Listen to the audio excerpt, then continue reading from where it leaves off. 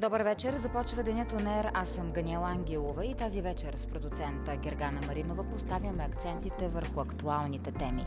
Парламентът единодушно задължи Министерски съвет да предоговори плана за възстановяване. В частта за въглишните централи остава само интригата за третия мандат. Очакванията на Рая Назарян от ГЕРБ, Милен Матеев от Продължаваме промяната, Танас Славов от Демократична България и Румен Йончев от Български възход. Време е да започваме.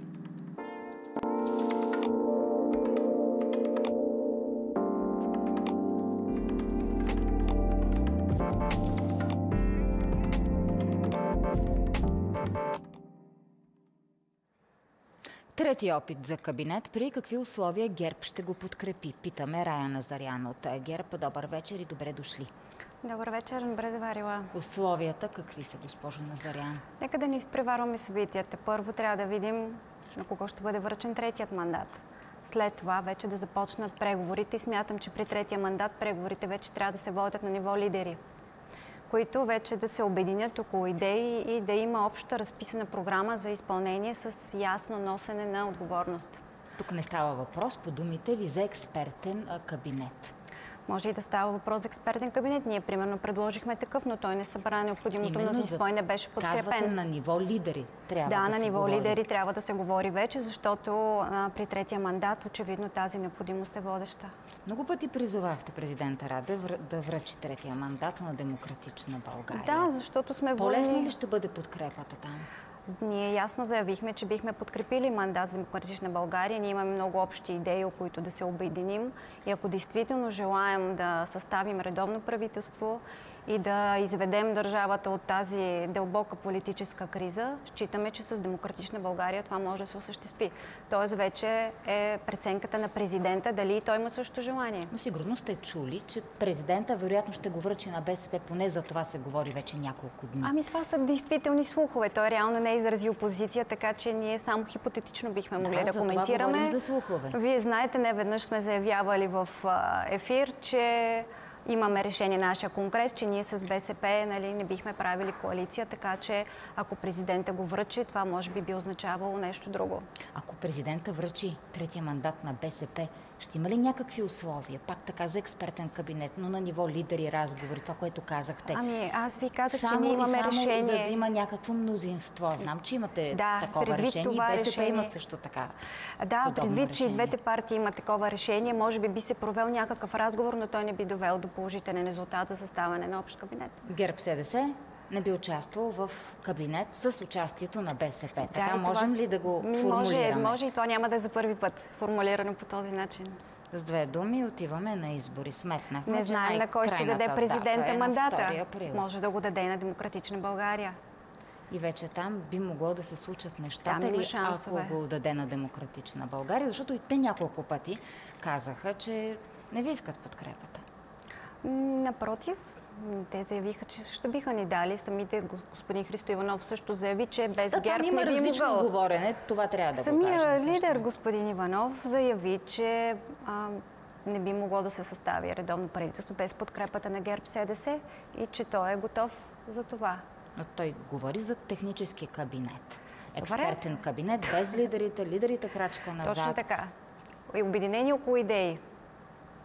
И очаквате, ако го връчи президента на Демократична България, изненада всички нас, защото всички чуваме, че може би ще бъде на БСП, тогава да има някаква минимална възможност да се състави правителство. Да, има такава То със срок ли ще бъде това правителство? Вероятно от ГЕРБ мислите. Защо да е със срок? Ако, това, ако се състави едно добро правителство, което започне да работи по програмата и да изпълнява качествено, защо да бъде срочно? Възможно ли? Защо да не е възможно? Изглежда Имам- толкова невероятно. А вие сте оптимист, виждам. Мисля, че трябва да сме оптимисти. Защото ако сме песимисти, това означава, че няма никакъв смисъл да ам, прокарваме идеи, да ги защитаваме, да вярваме в тях, да ги усъвършенстваме. А ние това правим. Общо. Очакваме. Народните представители представят идеи, които подобряват. Добре, топката Ако е ние сме песимисти, какво остава за гражданите? Ми те и те са песимисти, госпожо Назарян, обаче отиваме сега по вашите теми.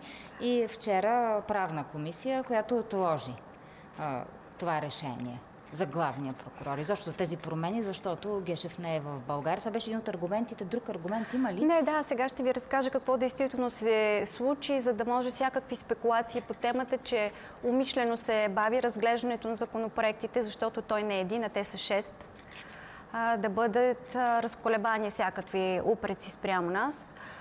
Първо, законопроектът, който е внесен от господин Крумзарков от името на Министерски съвет, беше внесен реално на 30 декември 2022 година. Правна комисия го включва в дневния си ред на 11 януари, т.е. при първа възможност. Заедно го обединява с още пет законопроекта, които същите касаят изменение и допълнение на наказателно-процесуалния кодекс и закона за съдебната власт съвсем резонно тези законопроекти се гледат заедно, но това са 6 законопроекта.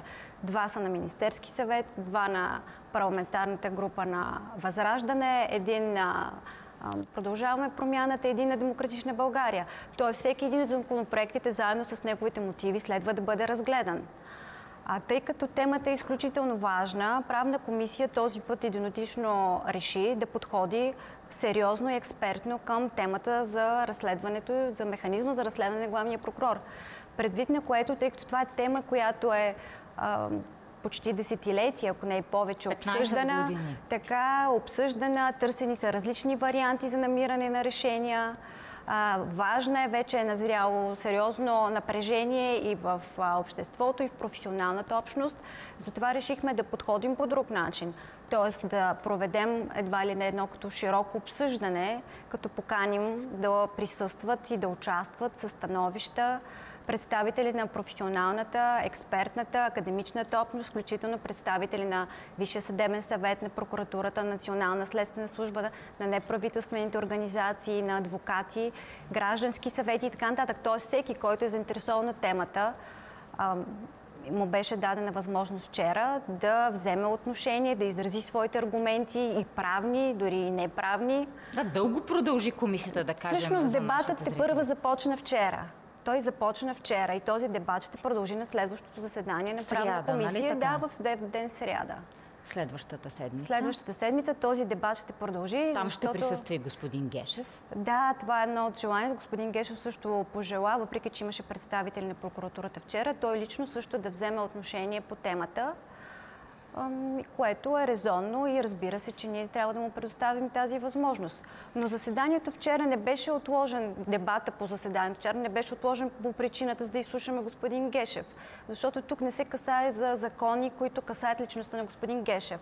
Защото той днес е той, но утре ще бъде някой друг. Той каза, между другото, и много пъти, че усеща, че тези промени всъщност касаят лично него и ще се правят за неговата личност. Ами той, когато го поканите тук, ще ви каже какви са неговите лични да, усещания е по тази тема. Пъти, да. Но аз искам само да допълня за това, че всъщност отлагането на дебата беше и пожелание на част от народните представители, които заявиха, че желаят да бъдат, се запознаят, тъй като има подадени писмени становища, освен тези, които бяха устно представени, да се запознаят странно и обективно с всички становища на институциите, за да могат те самите да си изградят свое вътрешно убеждение и становище по темата и по различните разпоредби на различните законопроекти и вече в следващото заседание на правната комисия да могат да вземат отношение като народни представители по всяка една от темите. Така че това също е една от причините, поради която продължаваме дебата в следващата седмица. Мисля, че се движим достатъчно бързо разглеждане на тези законопроекти, предвид, че Основният законопроект, който разглеждаме на Министерски съвет, който беше представен от господин Крумзарков, беше взето отношение от неговия заместник господин Дечев, е, се разглежда изключително бързо. Да, защото и господин Зарков тук в това студио каза, аз се съмнявам а, това да се случи, да минат тези промени. Чисто технически ние правим всичко възможно по процедура те да бъдат разгледани и обсъдени, защото то не е въпроса нещо, което е внесено, просто да бъде гласувано и неглижирано. Е, това е щекотлива тема сега, съгласете се. Чух и Темата професор е Панайотов вчера да казва, не бива да се бърза, когато Точно се взимат така. такива бързи а, Точно за това решения, подходихме по друг начин. Те могат да доведат до различен резултат. Сарафов пък каза нещо, което сега ще го цитираме, ще сезираме Конституционният съд, ако промените за главния прокурор минат.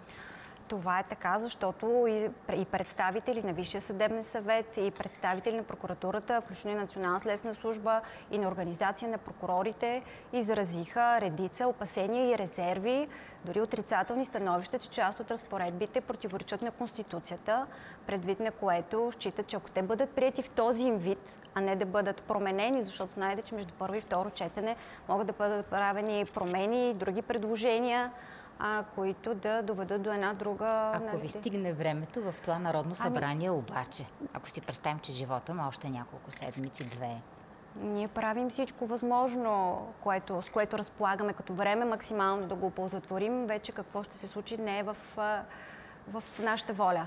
Политическа воля има. да разследва главния прокурор? Как ами... да се случи това? Защото това е в основата. Има тълкователно решение на Конституционния съд номер 11 от 2020 година, в което конституционните съдии всъщност изразяват становище, че разпоредбата на член 126 алинея 2 от Конституцията, който гласи, че по принцип главният прокурор следи за законност върху дейността на всички прокурори в случаите, когато се касае за сигнали подадени срещу главния прокурор, тази а, разпоредба не въжи. Тоест, всеки един прокурор може да, да разследва главно. Чували Вие сте го чували, но това пъти. са аргументите всъщност на... Въпросът тук е друг. Защо след като Конституционният съд твърди, че всеки прокурор може да разследва главния прокурор, всъщност няма подадени сигнали срещу главния прокурор? Или той не е извършил нищо, или няма подадени сигнали. Никой не, не повдига обаче тази тема. Съдия да разследва главния прокурор. Как ви изглежда тази възможност? Ами, тази възможност, сега първо, препоръките на Венецианската комисия са виш магистрат, който да извърши тази дейност, да извърши въпросното разследване. Магистратските длъжности по нашата конституция са три – съдии, прокурори и следователи. Защо точно е избран съдия? Вносителите не излагат защото, мотиви. Питали сме, защото Гешев нямал контрол върху съдиите. Това казват. А когато съм задала въпросите, всеки прокурор предложения може да специален, така наречен специален механизъм всъщност предвижда този съдия да бъде назначен за прокурор във Върховна касационна прокуратура. Тоест той пак е съдия. В смисъл, той пак е прокурор. Съдия е, който става обаче не по процедурата, по която се избират прокурорите, Става обаче прокурор и започва да извършва действия по разследването. Всъщност, нека да си дадем сметка, че съдиите извършват правораздаване. Те не извършват разследване, не извършват надзор за законност. Каквато е функцията на прокурорите. Тук съдиите в Върховния касационен съд безспорно са най-опитните съдии, с които разполагаме, безспорни юристи с високи и нравствени и професионални качества но механизмът по който се избира трябва да бъде по-прецизно разгледан. Първо тези съдии съгласни ли са да бъдат включени в този списък? Ето това е основният въпрос. Те първо трябва как да, да го разберем? Законопроекта няма дадени отговори, Добре, за това ние трябва да разберем. предложенията на ГЕРБ между първо и второ четене. Така, че Ние още не сме го гласували промени. на първо четене. Да, но вероятно ще имате някакви предложения. След като го гласуваме на първо четене, чуем абсолютно всички становища, включително останалите народни представители, тогава вече ще можем да вземем позиция дали да се правят промени и какви. Вчера се чуха и становища и предложения, примерно първо да бъде запитан Конституционния съд относно предложенията, дали противоречат на Конституцията или не. Защото ако противоречат от сега, но ние да приемем време нещо... това, нали така, ако се Изисква запитам. време, но то е същото. Ако приемем нещо, което после се окаже, че противоконституционно ни трябва нали, да, то да отпадне. Смисъл, загубата на време е същата. Има и друг, други предложения. Дали всъщност не се касае за реално изменение на Конституцията, за да може да бъде проведена тази процедура по разследване? Там ви трябва едно специално мнозинство. Да, трябва специално, но аз мисля, че политическа воля има. Тоест мнозинство ще се намери. Въпросът е това, което се приеме да бъде действително законосъобразно, да не противоречи на Конституцията. Защото е много лесно да го приемем нещо. Въпросът е то каква работа ще върши. Идеята на приемането на един законопроект е той да действа дълги години, а не след, през две години да бъде изменен и променен. Защото основният аргумент на демократична България е ще участваме, може би, в някакъв кабинет с ГЕРБ, защото господин Иванов казва, трябва да се направи някаква колаборация с ГЕРБ. Но основната ни задача е съдебна реформа и фокуса върху Гешев? Вие склонни ли сте на някакъв компромис на финала на нашия разговор? Разбира се, че сме склонни. Това е тема, която прекалено дълго време се говори по нея и е време вече да се действа и да се вземе някакво решение. Но решението, което се вземе, действително трябва да бъде законосъобразно, да е съобразено с Конституцията, да е правилно и да действа дълги години. Значи няма да е в този парламент от думите ви. Не зависи това вече разговор. от нашата воля. Да видим дали ще има кабинет. Реана Зарян от ГЕРБ пред Денятонер. Сега следват реклами, а ви останете с нас.